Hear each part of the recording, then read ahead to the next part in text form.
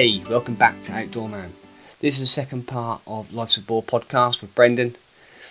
Uh, Brendan, don't forget to go to www.lifesaboar.com or Google Life's a Boar. I'm off pig hunting. Um, check him out.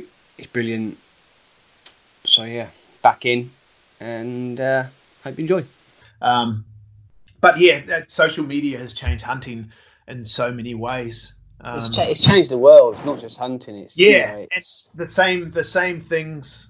Yeah, that anim- anonymity where people can just attack people, but just the way, yeah, the the way like where we're sitting now, the, America's imploding, isn't it? The place has gone crazy, and mm. mainly due to social media. Um, so yeah, so the hunting thing, I just, I, I hate to talk myself up. I've never been one to I don't take praise well. And if I, I think one thing, if somebody tells me I can do something, I kind of knock myself down and, and don't think I can do it. If somebody tells me I can't do something, that's when I'll really try and do it. And so when I first made my first film, one of my mo- motivating factors was my mother-in-law. Um, we got into a big argument. Actually, I should tell this story. It's a good story. This might be a long one. Um, we we we made the first film, Life's a Boar, and it was like ninety nine percent made, and I just needed to get one more one more clip for it. One one more boar would have made that film because we wanted to make it really good. We were, you know, it was our first one we'd ever made, and you know, so I I thought, no, we need one more pig to make it better. And I had this trip lined up that had been lined up for quite a while. Um, it just happened to coincide with my wife ready, been ready to give birth to our third child, and um, but she knew how much was riding on this one hunt, and we'd planned it. But so I can't remember whether she had the baby early or she had the baby late. Whatever happened, it happened right on the day that I was supposed to go away for this this hunting trip, and um, so we drove from where we are now back to our hometown. Wellington was about like four hours away while she was in labour, so she could have the baby around her parent, her mother, and um, so so Nicole was cool with it. She knew that I had to go hunting, and it was just bad timing. She was supposed to ring her mum and let her know that um, that I was going to drop the kids there and go hunting. So anyway, so she had the baby at like eight o'clock in the morning. Half an hour later, I said, "Okay, I'm off. I'm going hunting," and she was fine. So I went up to her parents' place and I dropped our two other kids, our son and our daughter. And I went around to the mother-in-laws and father-in-laws, and I was just talking to them. And then I said, "Okay, I'm off." And I just won, and so I just left the kids there, walked out the door, and went hunting. And I thought they knew; they didn't know anything about it.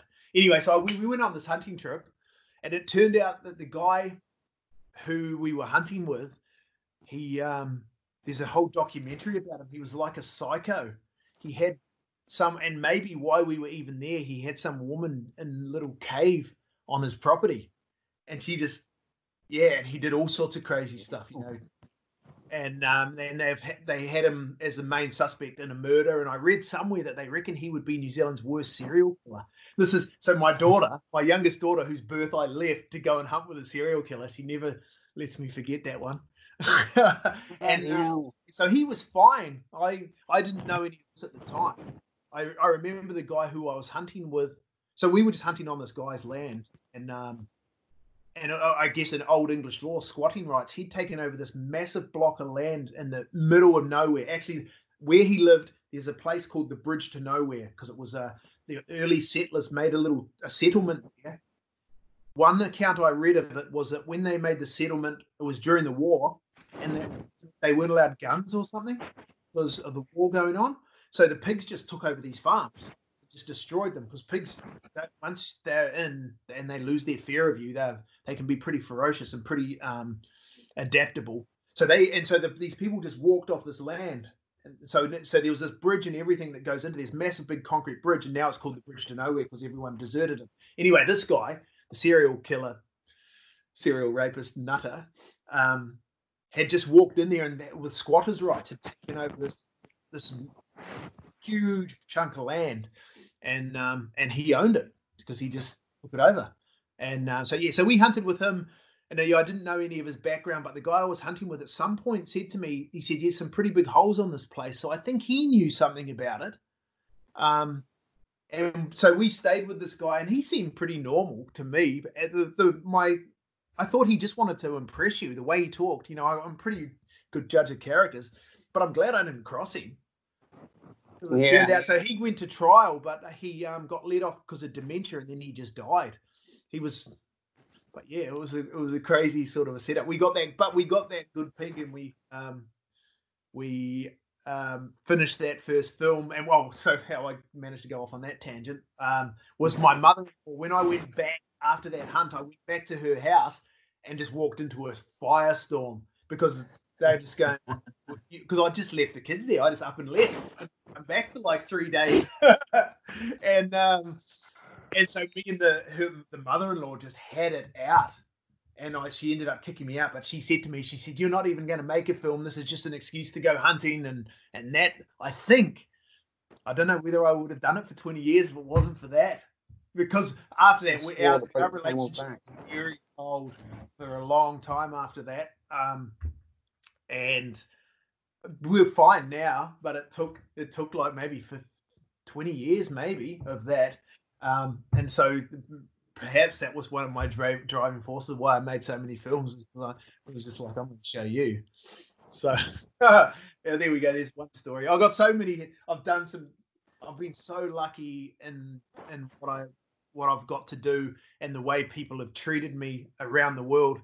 Um, just complete strangers, look after me and then take me hunting. And some of them, you know, they want to they just want to be on a film. Um, but other, it was just they were just really nice. You know, I the the majority of people you meet are really nice, and I try and do the same. Like if I see hitchhikers or something, I'll always pick them up and go the extra mile. Like that, I'll have complete strangers stay at my house just because that's what how I've been treated my this whole time. Like I went to Hawaii for the first time, and well, not the first time I went there surfing when I was a kid, but I went there for the first time hunting just before December, and I was treated like a rock star. Like it was unbelievable. It was humbling, but it was just unbelievable, and it was kind of at times too much. You just, I, I don't think all I do is I carry a camera around and film pigs.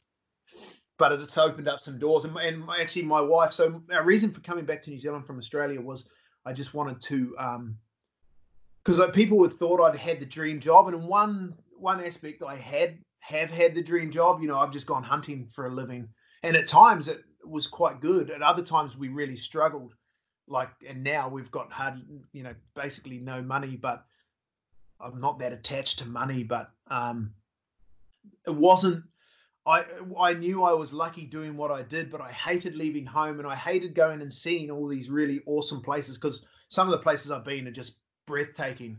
Um, that no, so many people never get to see and I got to hunt there some awesome places. But I, I, I, I've been, I got married when I was 19. We've been married for, I'm 47 now, so we've been married a long time, and we're best friends. And so I'd go to these places, but it just, I just, it wasn't the same not having my wife there because I was seeing all these awesome things, but I didn't even want to tell her about them because she, yeah, I just felt bad, and and so that's why we um, came back to New Zealand as I saw an opportunity to film and travel and go world and do it online um, and hunt. Like we had places like France and Hawaii and everywhere lined up to go. Um, our daughters were both travel agents, so we got really cheap flights. Um, and then COVID hit, and yeah, yeah. can't leave. Um, so we did travel New Zealand. We got it. We got just like a, a little people mover. I don't know. Over here, the the Brethren Church. You know, you have exclusive Brethren over there, the ones that wear the scarves and have massive families. They have churches with no windows. They're, they're a little bit cultish. Anyway, not, yeah, so they, people, you know, like look like little space shuttles. They've been around. So we got one of those and decked that out, made beds in there. And so me, my wife, it's only like a six seater or something. That was our house for I don't know how long. We traveled around New Zealand and we'd just go and stay with people and go hunting. I'd go hunting and she got to see all these places. So it was really good. Um, but that's what our plan was, was to do that around the world with our cheap flights because the flights were pretty cheap through our daughters. Um, one was in a flight attendant in Australia, one was in New Zealand. So Um, but yeah, COVID happened, and they've both lost their jobs, and um, yeah, so now and that's part of the reason I'm I'm looking at a change in career as well. Um, I, I was over it. I had yeah, making a living out of killing things. I know we're both hunters, and most of my friends are hunters, but it just yeah, it had kind of lost its shine. Um, and I, I don't know, I don't remember the last time I actually killed a pig. I would just film with other people, and so that was my style of filming was just to film other people. I never considered myself. I I, I do know a fair bit about dogs and a fair bit about hunting, but just because I've been lucky enough to hunt with some of the best hunters out there. Um, so I never like to make the films about me. Like I said, I don't like to um, talk myself up, and I think probably that's part of my downfall in my business models is with social media and that you have to really pump yourself up and be posting on Instagram and look at me, look at me. And I think that kind of started to wear thin on me as well. Um, just doing things yeah. that didn't fit my moral compass. I'm, I, I don't, I, I, don't see anything wrong with people doing that. Um, I just can't compete with it because it doesn't sit well with me. So I'm get, just getting left behind. Um, but yeah, if people want to see some of my stuff, you can sign up to my website, get free seven days, and just cut it off after seven days. But there's, I've made so many films. I've, like I've sold footage to like Discovery Channel and things like that over the years. Um, so yeah, it's been a good life. It just hasn't yeah. been. Um, it hasn't been financially rewarding. When I did at one point we were making quite a bit of money when we first started selling films in Australia. We just came with a completely different business model. We went from we used to make DVDs and sell them for they were phenomenally expensive. The first guy I was in business with, Jason Down, that I made the Life's a Boar films with. We're still friends now, um, but I walked away from that. But he was more the business-minded one, where um, and so our, our DVDs used to be fifty dollars each. Yeah. So would be fifty dollars, which is phenomenal. And then so we went from that. When I left Life's a Boar, because it we just had, was so different from a business, from a personal sense, we kind of clashed, and we um, and I walked away. But then we started, and I started a new company, um, doing the same thing, but we dropped the price down to fifteen dollars. And then had them. You could walk into a news agent. Do you have news agents here? It's like a yeah, mega magazine shop, walk into a magazine shop, and our DVDs would be in there, and um, we were selling those for fifteen dollars. And because they were so accessible, then ra- rather than people having to order them online, people would just go into a shop and grab one. Our sales just went, just took off, and I've never had money in my life. So we were selling eight thousand films. So we were uh, eight thousand films per film. We were doing four films a year. Then we jumped it up to six. Then we actually jumped it up to twelve um, so at times, but then then the internet rose, and so DVD sales dropped. But um, I'd never had money in my life, and so I just blew it. I, I, I took the kids to, over to Australia, and we went and did roller coasters. And if there was, I've got a thing for guitars, and I, I just had never had money. The kids had never had money, so I just spoilt them, and I don't regret it in one sense because I, I think they they they will look back on it fondly. I look back on it fondly, but I think my wife looks back on it and just thinks, man, why did I not take control of the situation and save some of this money? Because we've never owned a house or anything. We live in a house bus actually at the moment. Which through lockdown we've just lived in a house bus and um but yeah. be testing. Um, well, it's better than living in a car. We lived in a car for a bit, so it was like moving from a from a shed to a mansion. Yeah, and but it yeah. has it's been the whole of lockdown. We were in it, and yeah, it um, it was a it was an impulse buy on her behalf. She just brought it because she liked the look of it, and it's so old and it leaks and. Um, yeah, it's been a trial. So yeah, it, it has been tested. yeah, so we're actually um, Monday.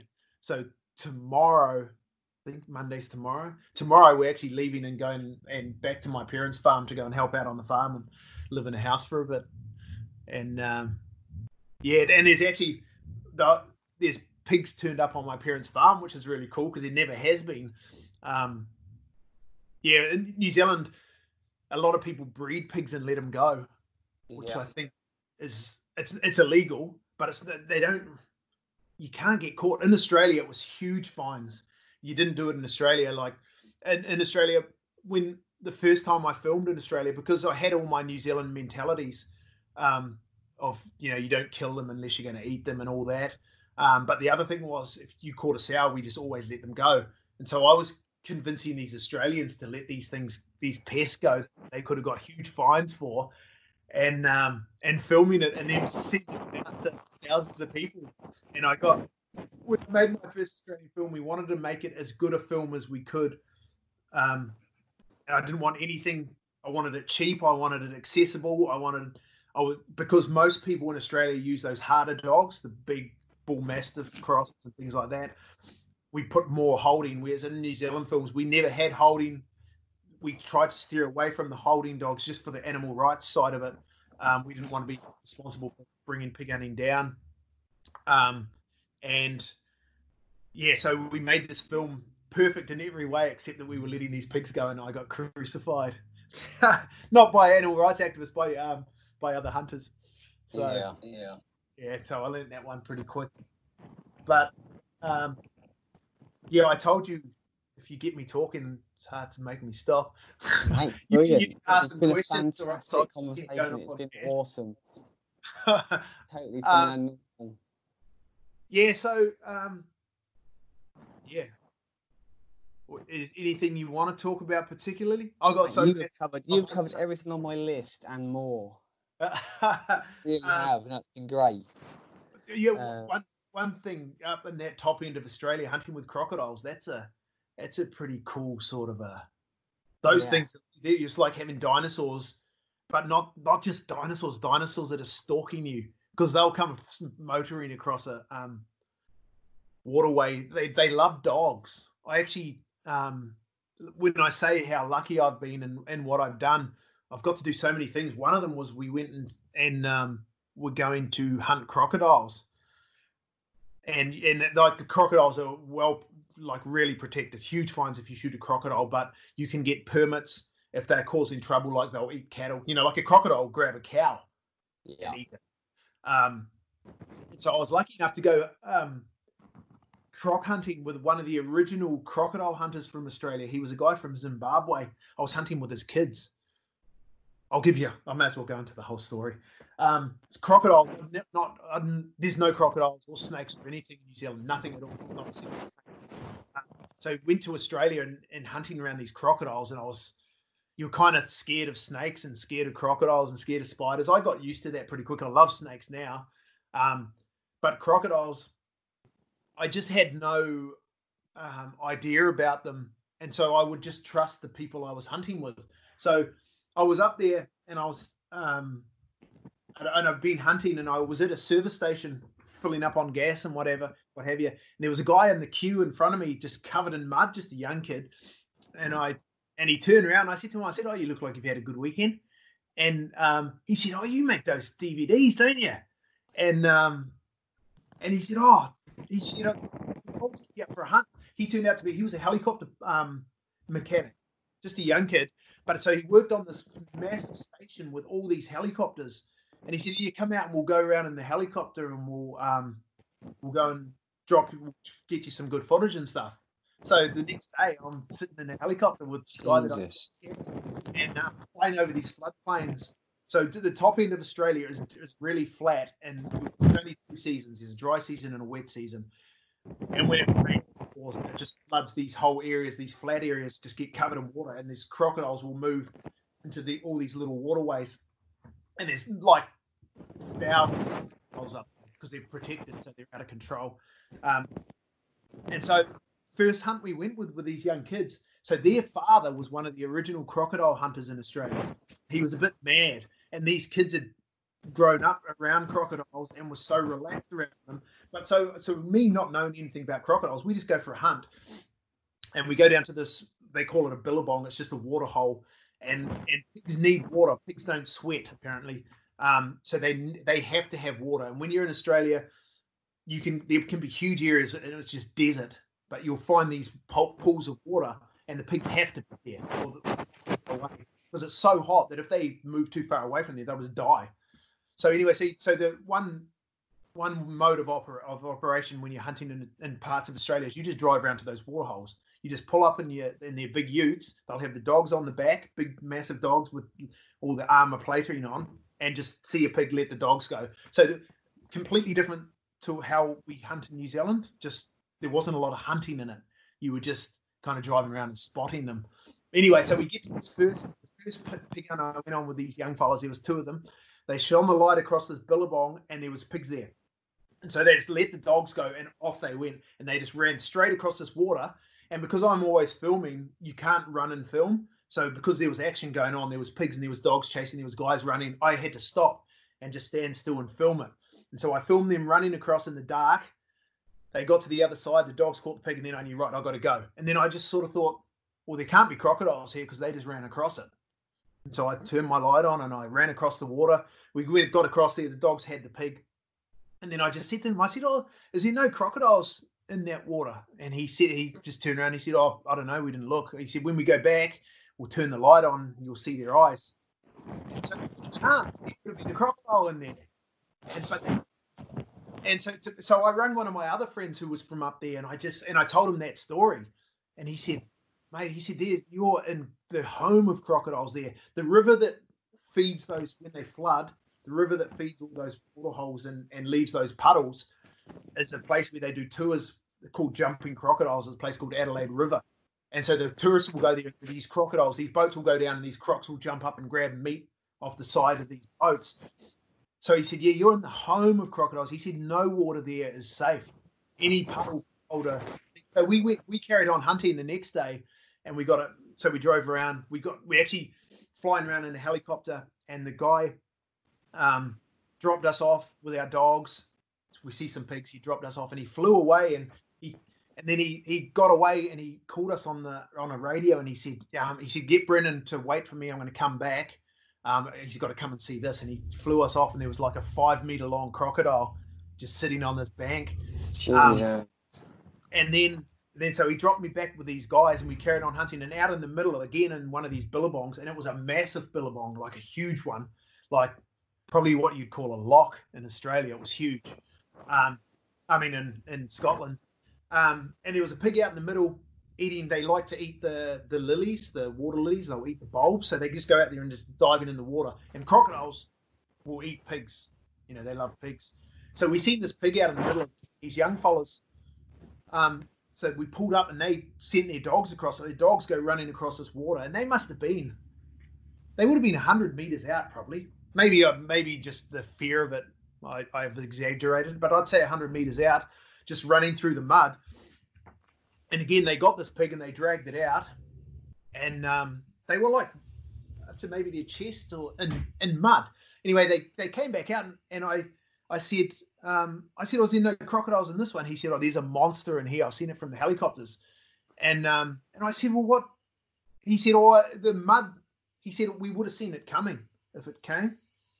And I said, "Yeah, you've seen it coming, but that doesn't mean you can outrun it in, in hundred dash in mud." But they were that casual um, and and again, I rang my mate and told him that story, and he, I said, "Oh no, I wasn't going anywhere near the water. I just stood by the bank." And he said, "How far from the bank did you stand?" And I said, "Oh, I was probably two meters." He said, "You ain't safe there either. They'll just grab, they'll just come out off the banks." Yeah, so so yeah, um, we also go with that story. Um, crocodiles. yeah, I don't know. I've, I've, I've went too far off on a tangent there. That's awesome. That's awesome. But yeah, cro- crocodiles are scary, but just taking for granted um, that you think the hunters know what they're doing. Like with snake identification, I'd just say, "What sort of snake is that?" And they'd say, but then I, I look back later and I think they probably had no idea what sort of snake it was. They're not like just make, just make shit up as you go along. so yeah, so Australia was an awesome place. Um, yeah, I loved it. My missus would move back there at drop of a hat just for the weather, and the people are awesome. Australians are really awesome. Um, yeah, but yes, pigs everywhere over there. Like, yeah, it it it, it lost its the hunting lost its charm. I think in one sense because we weren't eating them. I felt I always felt guilty about that, um, and just that it was just so different that um that approach of catching so many pigs so quickly and leaving them there without and no and not having that hunt aspect. You're not working for it. So Yeah, yeah. The hunt is the thing. It's like treasure hunting, or you know, that's why I think when I said hunting must fulfill so many primal urges, I think you get so many things. You're exploring. You're you're gathering. You're providing. Um, I mean, dare I say it? Probably killing is probably something that is in us as well. You know, we did it to survive for so long. Um, especially the English. yeah, yeah, yeah. They, they killed our people, not our, not our animals. They brought people and killed. They brought animals and killed the people. yes. yeah. Yeah. Um. So, as I said, I, I go off on tangents. I've got so many. I'm, I'm. I'm trying to think if I could think of a. There's some standout stories, but there's so many of them.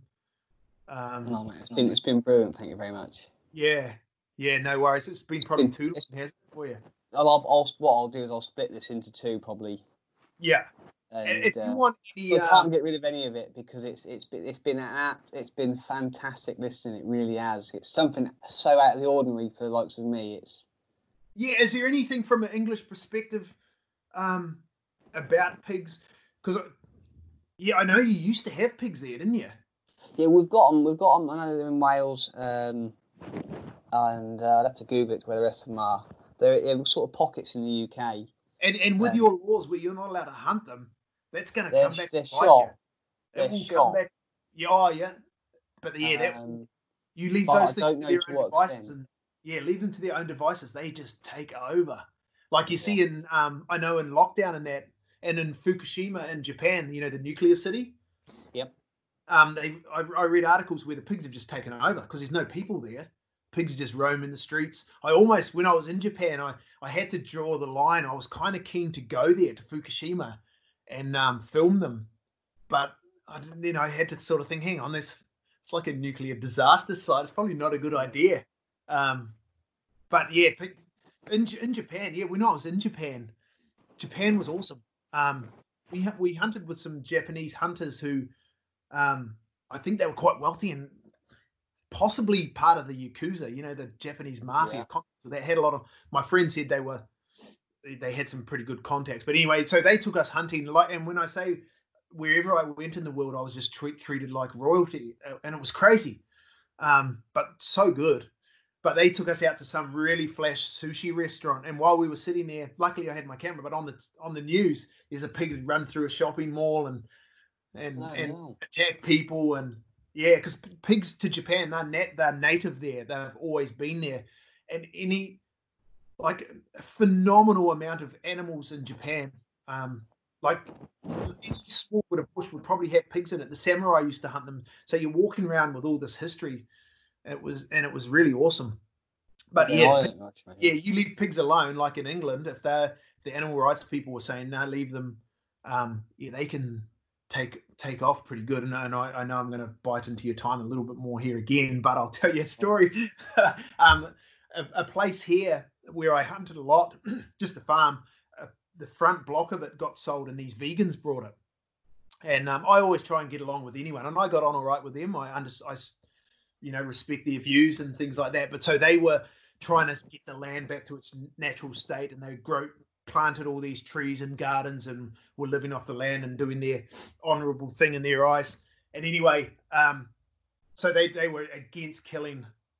Um, the, the actually the way I first met the guy when he first moved in is I because I was allowed to hunt the farm that they they were at the front of, and my dogs caught this little pig, and it was squealing, and so I was running over to get it, and he because he was this big animal rights guy, came running past me with a gun, heading towards my dogs, and you know what? It's your dogs are like your family. You don't touch. Yeah, yeah.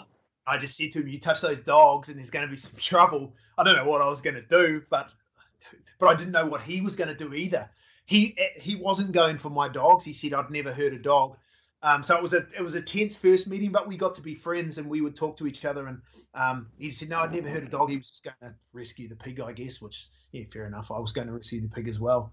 I hated I hate hearing pigs suffer. Um, anyway, um, so they would plant in these gardens, and the pigs would just come in and they would go and, and start eating their vegetables. Yeah, rooting all up. and chase them off. But once a pig knows you can't do anything to it, if a pig loses its fear of you, they're a fearsome animal. So these animal rights activists, they ended up having to get in because there was just nothing they could do. They had to kill these pigs because they were just destroying the place. and I thought it was, it was ironic and it was funny.